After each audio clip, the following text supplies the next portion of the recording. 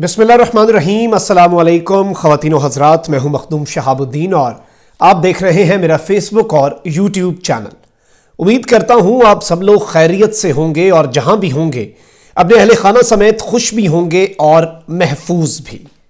नाजरीन, सऊदी अरब और पाकिस्तान के ख़राब होते हुए ताल्लुकात, और सिर्फ़ सऊदी अरब नहीं, बल्कि मुतहदा अरब अमारात जो हैं उनके साथ भी पाकिस्तान के गर्मजोशी से सर्द महरी और फिर कशीदगी की जानब बढ़ते हुए जो ताल्लुकात हैं वो किसी से ढके छुपे नहीं हैं।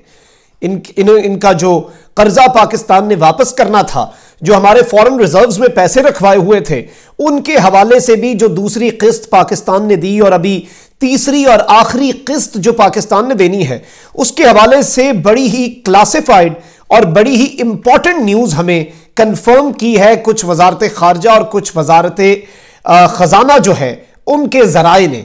और उनकी जानब से कुछ डिटेल्स प्रोवाइड की गई हैं जो आज की इस वीडियो में आपके सामने रखेंगे। और उन डिटेल्स को देख के दो चीज़ें बड़ी वाजे हो जाती हैं। एक, सऊदी वज़ीर खारजा का दौरा पाकिस्तान, जो कि एक्सपेक्टेड था कि इन दिनों में होगा, मॉस्को तक आ गए, लेकिन अचानक वापस चले गए। वो क्यों हुआ, मनसूख? और क्यों हमारे तर्जुमान वजारत खारजा जाहिद हफीज चौधरी जो हैं, उन्होंने ये स्टेटमेंट दी कि इस महीने तो कोई इरादा नहीं है, आगे का भी हमें नहीं पता। अलबत् कुछ दिन पहले तक यह कहा जा रहा था कि दौरा होने वाला है। और दूसरी इंपॉर्टेंट चीज़ जो इस क्लासिफाइड इंफॉर्मेशन से हमें पता चलती है, वो ये है कि आने वाले सात दिन, ये पूरा हफ़्ता। और अगर बात की जाए, ये कहा जाए कि अगले पाँच दिन, क्योंकि वर्किंग डेज़ हुई हैं, अगले एतवार तक बड़ी ही इंपॉर्टेंट चीज़ें होने वाली हैं पाकिस्तान के साथ और पाकिस्तान के लिए कुछ मुश्किल जो हैं उनमें इजाफा हो सकता है। और पाकिस्तान ने जो एक इंडिपेंडेंट और आज़ाद फॉरेन पॉलिसी का एक रास्ता अपनाया है, उसमें कुछ रुकावटें हैं जिन्हें अबूर करना इन सात दिनों के अंदर बड़ा ज़रूरी होने वाला है। ये सब कुछ तफसील से आज की इस वीडियो में हम आपके सामने रखेंगे।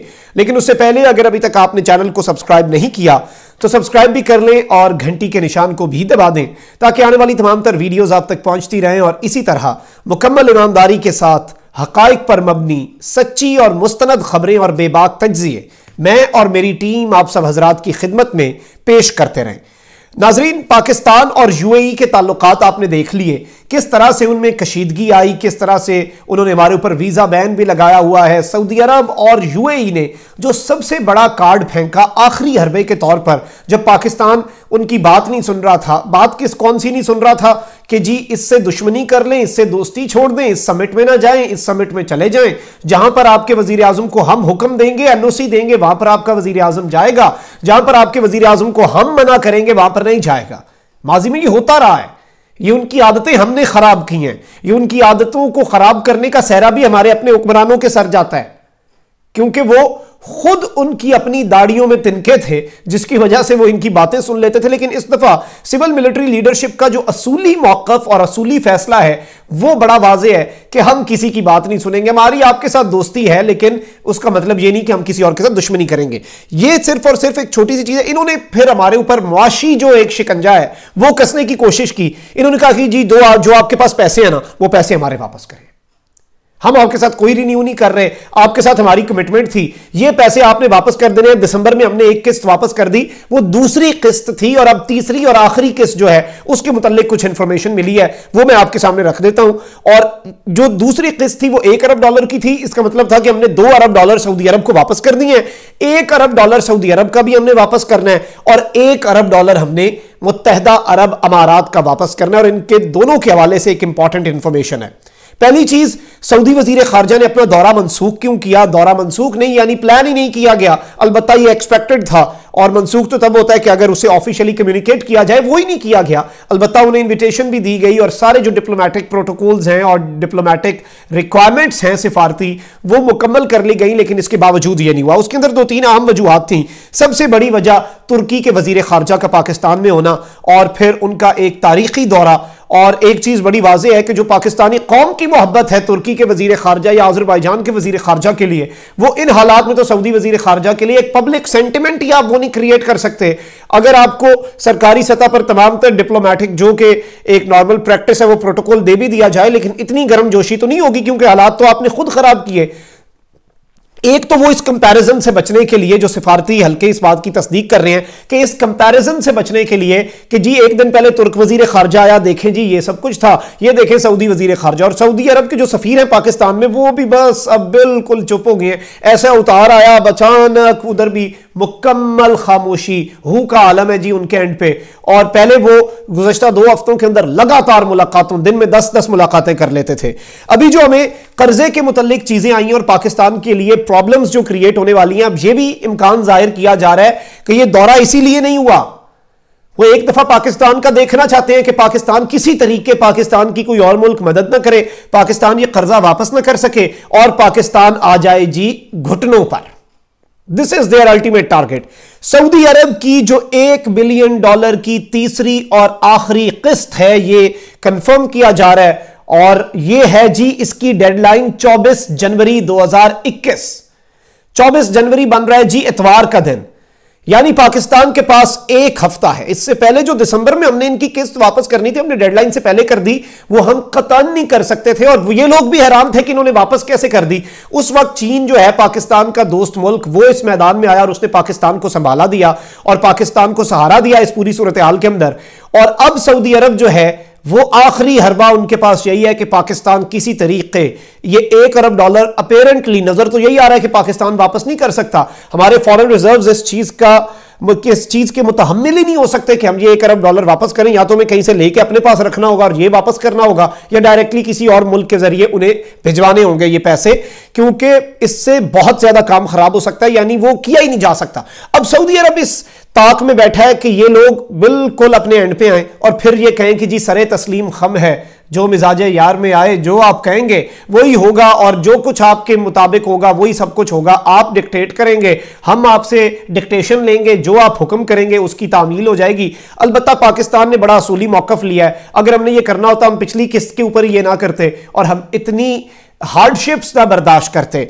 यूएई मुतहदा अरब अमारात के मुतलिक भी मैं आपको बता दूँ कि उनकी डेडलाइन भी 24 जनवरी है। This is now a bigger problem दोनों ममालिक की, यानी इन सात दिन के अंदर पाकिस्तान ने एक अरब डॉलर नहीं अरेंज करना। पाकिस्तान ने टू बिलियन डॉलर्स दो बिलियन डॉलर जो है वो पाकिस्तान ने अरेंज करने हैं और पिछली मरतबा चाइना ने बड़ी मुश्किल से पाकिस्तान को सहारा दिया था एक अरब डॉलर। और ये कोई बहुत पहले की बात नहीं है, चंद हफ़्ते पहले की दिसंबर की बात है। उसमें ये दिया गया और अब आखिरी किस्त जो है, पाकिस्तान, क्योंकि ये फैसला कर चुका है, अब अंदर खाते जो चीज़ें चल रही हैं डिप्लोमेसी चल रही है ऑब्वियसली हमारे इदारे, हमारे तमाम तर जो रेलिवेंट डिपार्टमेंट्स हैं पाकिस्तान के, वो इस चीज़ का इदराक है उन्हें। और वो इसकी ताक में लगे हुए हैं और इसके लिए तमाम तर अल्टरनेट्स जो हैं वो सोचे जा रहे हैं। तमाम ऑप्शंस बरुए कार लाए जा रहे हैं, क्योंकि पाकिस्तान इतना आगे तक वैसे नहीं आया। मैं आपको एक और चीज़ बताऊँ बीबीसी से गुफ्तगु की थी मुईद यूसुफ जो है पाकिस्तान के नेशनल सिक्योरिटी एडवाइजर वज़ीर आज़म पाकिस्तान के। कौमी सलामती जो मुशीर है, उन्होंने कहा था, जो एग्जैक्ट स्टेटमेंट में पढ़ के आपको सुनाने लगा हूँ, कि पाकिस्तान, सऊदी अरब ताल्लुकात में कुछ मामला में उतार चढ़ाव रहेगा। कुछ मामला पर उनके साथ हमारा इतफाक होगा और कुछ पर ऐसा नहीं होगा। ये पिछले महीने का उनका बयान है और उनका था, आने वाले महीनों में हालात खराब होंगे, उन्होंने पेशगोई की थी और पहली मरतबा सरकारी सतह पर कोई आदमी ये कह रहा है। तो इस चीज़ को भी हमने मलहूज खातिर रखना है। फिर सऊदी वज़ीर खारजा जो है, वो जब रूस गए दो दिन पहले, उन्हें वहाँ पर जो पैगाम दिया गया, वो बड़ा अहम था। उसमें उन्हें पाकिस्तान की कदर तो मालूम हुई, लेकिन अभी वो अपनी उस तमकनत जो है, उससे नहीं निकलना चाह रहे। जैसे कतर के साथ चार एक साल लगे, उन्हें रियलाइज़ करने में कि इनकी ज़िंदगी का निज़ाम तो चल रहा है, उसमें तो कोई रुकावट नहीं आई। तो ये सारी चीज़ें जो है, इन्हें समझने की बड़ी बड़ी ज़रूरत है और इस पूरे सिनेरियो को अंडरस्टैंड करना बड़ा ज़रूरी है और आने वाला एक हफ़्ता पाकिस्तान के लिए थोड़ा सा मुश्किल होने वाला है। लेकिन अल्लाह ताला का करम रहा तो इस मुश्किल और इस परेशानी से भी पाकिस्तान निकल आएगा और तमाम तर चैलेंजेस है जिस तरह अल्लाह ताला की ज़ात पाकिस्तान को निकालती रही है। ये भी चैलेंज एक बड़ा छोटा चैलेंज इन पाकिस्तान के लिए होगा, जिसे हम ओवरकम करेंगे। चैनल को ज़रूर सब्सक्राइब कर लीजिएगा। घंटी के निशान को भी दबा दें ताकि आपका और मेरा ताल्लुक बरकरार रहे। कमेंट सेक्शन में इस पूरे सिनेरियो के मुतलिक इस पूरी सूरत हाल के मुतलिक आपने बताना है कि आप क्या सोचते हैं, आप क्या राय रखते हैं। साथ ही साथ हमारी इस वीडियो के मुतलिक आपको क्या अच्छा लगा, क्या बुरा लगा, ये भी आपने लाजमी कॉमेंट सेक्शन में बताना है। हमारे लिए आपकी राय सबसे ज़्यादा मुकदम है। अपना बहुत ख्याल रखिएगा। अपने इर्द गिर्द लोगों का भी आपने बहुत ख्याल रखना है और इस मुल्क पाकिस्तान का भी बहुत ख्याल रखना है, क्योंकि पाकिस्तान है तो हम हैं।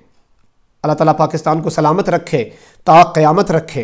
अल्लाह निगेबान, पाकिस्तान, जिंदाबाद।